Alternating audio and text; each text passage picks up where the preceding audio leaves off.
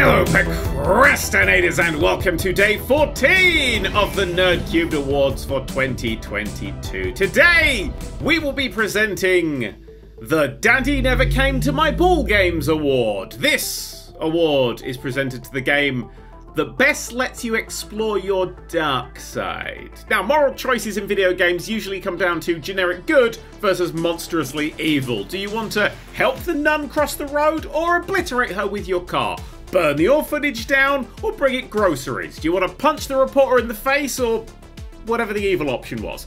This award goes to the game that eschews this in favour of a more complex, interesting take on the systems.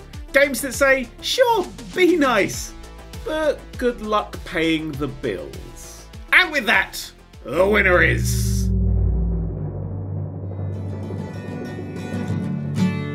Let's Build a Zoo. Yep, you may not have realised it, but under the cute pixels of this Zoo Tycoon esque game lies a viciously dark heart. I'm not even talking about the genetic manipulation that lets you breed any two creatures together, forming such adorable monstrosities as the Rabopotamus, the Goose Duck, and the Owlybara. Sure, an owl's body with a capybara head sounds like a good idea, sort of, but it does come with some health issues. Not that it matters to the general public, you've seen how popular flat faced dogs are.